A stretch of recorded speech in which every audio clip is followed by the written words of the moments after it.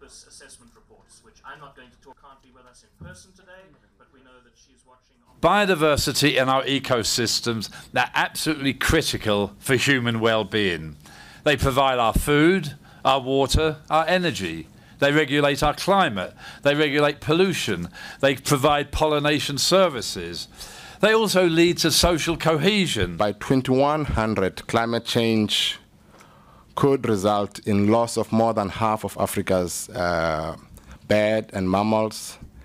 Eh, Africa's lakes will have their productivity reduced by 20 to 30 percent. All major ecosystems are threatened in the region, particularly forest, alpine, wetland, and coastal ecosystems, including coral reefs.